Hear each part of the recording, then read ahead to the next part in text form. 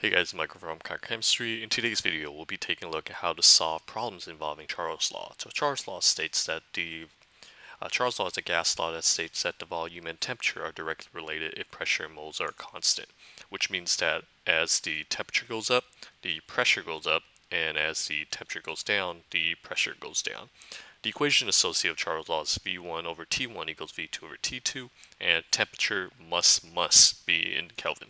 Now let's jump into some example problems. The first one says a gas occupies, so it gives us uh, original a volume, and then it gives us a temperature, but you can see the temperature is currently in Celsius not in Kelvin, and it's asking us for a new volume, and it gives us a new temperature. So we'll just call the original V1 and T1, and then the volume we're solving for is V2, and that will be T2.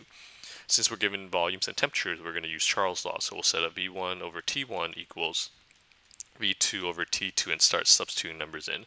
So V1 is 900.0 milliliters.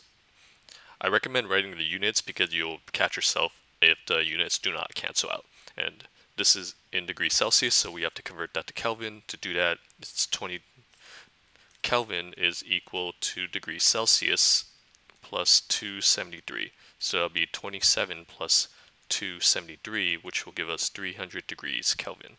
So that'll be over 300 degrees K equals V2, which is what we're solving for, divided by, uh, that's 132, so we just do 132 plus 273, and that'll be 405 degrees Kelvin. Then to solve for V2, we just cross multiply. So this will be 900 0.0 milliliters divided by four or multiplied by 405 kelvins divided by 300 kelvins will equal V2. Uh, so you can see the kelvins cancel out. So it would be 900 times 405 divided by 300. So it would be 12. So V2 will equal 1,215 uh, milliliters because there was milliliters on the other side. Let's check if that makes sense based on uh, Charles' law. So we can see that the temperature went up because it went up from 27 to 132. So if the temperature goes up, the volume should go should increase as well, and it did. It went from 900 to 1215. All right, let's take a look at the next example. So this one's says calculate the decrease in in temperature in when uh, so we're we're solving for temperature and we're given the volume, the another temperature, and then another volume. So let's let's associate what's one and what's two. Well, these two are associated together because it says that it's two liters at 21 degrees Celsius. So we'll call that one, and then we'll call that we'll call the other condition two. So again, we're going to use Charles' law. V1 over T1 equals V2 over T2. So this time we're calculating the the decrease in the, temp the temperature. We're not calculating the temperature, but the decrease in the temperature.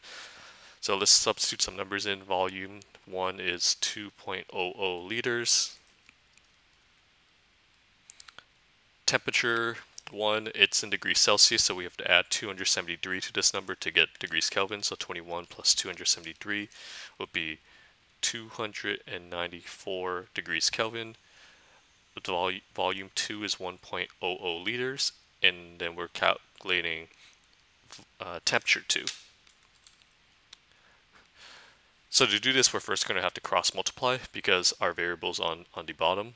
So this would be 2.00 uh, liters times T2 equals 1.00 liters times times 294 degrees Kelvin and then divide both sides by 2.00 liters so that'll get rid of that. So T2 would be 1 times 294 divided by 2. Uh, so that'll be 100. T2 would be 147 degrees Kelvin. So they want us to calculate the change in temperature uh, in in degrees Celsius. So let's you know just convert this back into degrees Celsius. So we would just subtract 273 and then that'll give us negative 126 degrees Celsius. So then the change in temperature would be the original 21 degree Celsius. Actually, no, it whenever you're calculating change, you want to do final minus initial. So this is the final temperature, negative 126 degrees Celsius minus 21 degrees Celsius. And it'll be negative 147 degrees Celsius. So that's the, the decrease in the temperature, negative 147 degrees Celsius. All right, next question. Last question, an inflatable container which has an actual volume. So we're given a volume uh, is removed from a refrigerator at 5 degrees Celsius. So we're given a temperature and then allowed to warm up. We're given another temperature and then we're asked to solve for volume. So we'll call this V1 and T1 and then we'll call this T2 and V2.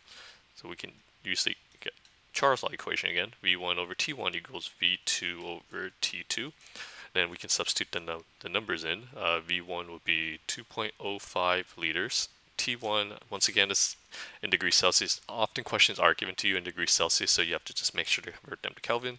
5 plus 273, that'll be 278 degrees Kelvin equals volume 2, which is what we're solving for, and then temperature 2 would be 21 plus 273, which is 294 degrees Kelvin. Then to solve for V2, we just cross multiply. So 2.05 multiplied by 294 uh, divided by 278, which will give us a V2 of 2.17 liters. Get those liters on the other side.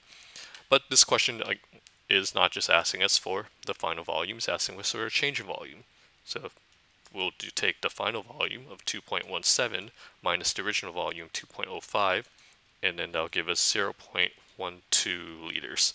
So that was an increase in in pressure, I mean increase in volume, which makes sense because the temperature was increasing, went from 5 degrees to 21 degrees.